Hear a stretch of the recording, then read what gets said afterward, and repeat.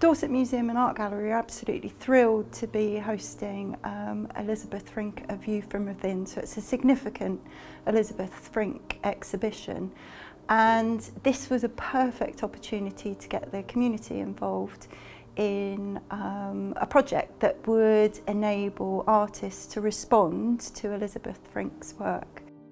We've been working with the DDAG group, the uh, Dorset Deaf Activities Group. So they're a group that have been meeting for about two years and working together and doing sort of quite creative projects. So we thought we would do this project in connection with that and then the group could be exhibiting their artwork that they've created uh, within the community space but also within the uh, permanent exhibition space. My name is Karen Mitchell. I'm a rehabilitation officer for Millbrook Healthcare site here in Team slash interpreter for the deaf as a freelancer.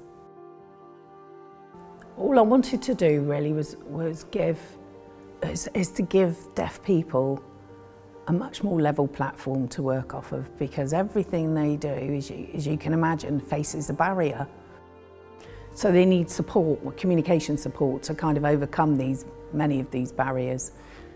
and just wanted to give them something that was theirs. And they didn't actually. You level the playing field. Well you can just do what everyone else does now and that's what we wanted.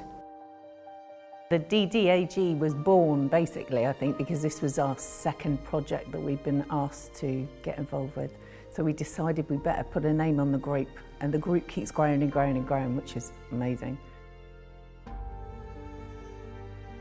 It's been really exciting because many of the group members don't don't didn't know very much about Elisabeth Frink. So you know we were sort of starting from initial kind of drawing in the gallery space here um, and then just kind of inviting the group to sort of uh, develop their own work around what they were interested in. And then the project just developed um, and emerged and it was really quite incredible what, what they came up with at the end actually.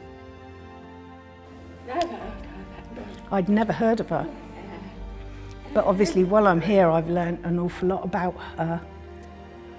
I was looking around at Elisabeth Frink and I was thinking, hmm. I was thinking she's absolutely amazing, absolutely fantastic. And then when we started training and making these sorts of things, I was thinking, it's actually quite emotional. You know, we were, we've been so happy here doing this.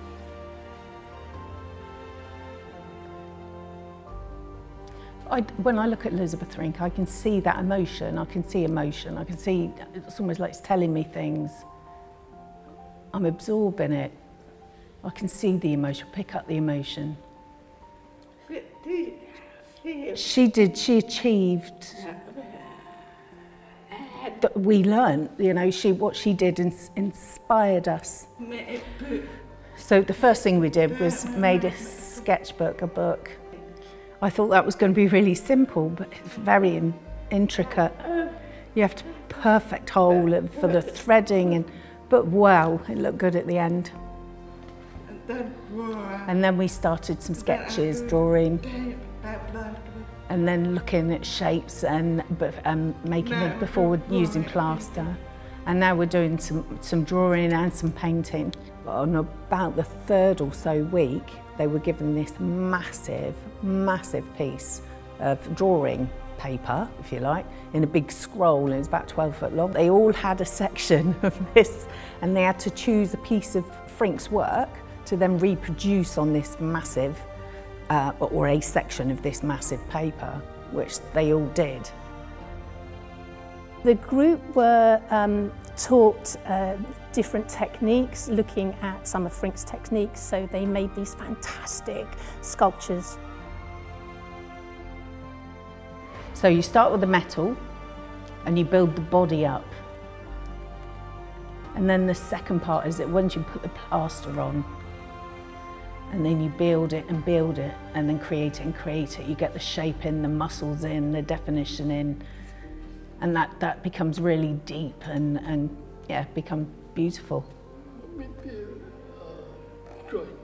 I feel like I'm, I'm joined with something, I'm part of something, I've got a community, and we all sign here, it's absolutely wonderful.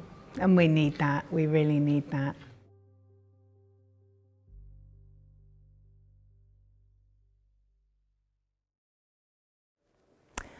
I learn how to say horse in British Sign Language. The sculpture shows a horse rolling. I mouth, point. What is the sign for horse?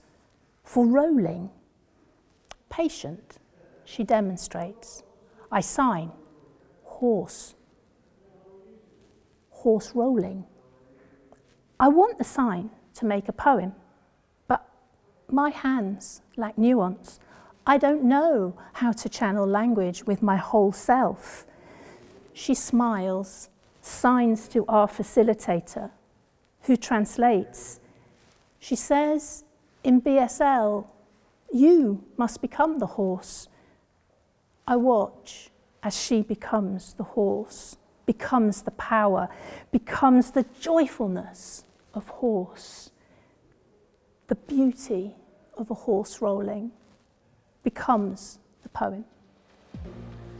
Absolutely amazed by what I've seen and taken it all in and what I've found inside myself and what I can create because of it. Every time I'm with a group of profoundly deaf people who are getting something out of something, that gives me so much joy. I'm incredibly proud of all these people.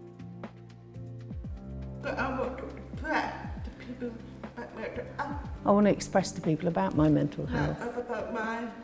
It opens minds their minds as well, and, and deaf people's minds too. The secret is only come to art to meet people as well as art. I come for the art, but really I come to meet the people. So, so it's great to have both, and I look forward to it. Some of our clients have come from very little. You know, some won't even go, didn't want to go out the front door on their own. And they're all coming to a group and they travel independently and they're enjoying their lives. They take more control of their lives.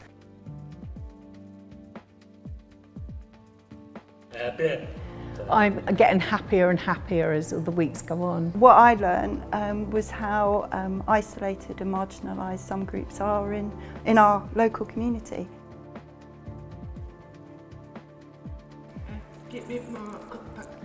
Yeah, I mean, I've got a lot more confidence. I'm, a lot more forward. Linked with art, art-wise, and, and, you know, other people in the group. We're like a family here, you know, really like a family. Are you good for mental health? Look outside yourself. Both different environments, different perspectives, different ways of thinking, different ways of looking at the world. With the rehab hat on, I have a lot less issues and a lot less texts and FaceTime calls with issues if the courses are running. It's just been a real privilege work, being able to work on the project um, because it, it, just seeing you know what the group came up with at the end, their individual sculptures, the large group, but also how they all sort of started working together and how they interacted together. What the deaf people are leaving with is an awful lot of a lot more skills and a lot more confidence. I think what the museum are left with is a bit of a legacy really that this is what they did and this is part of the museum.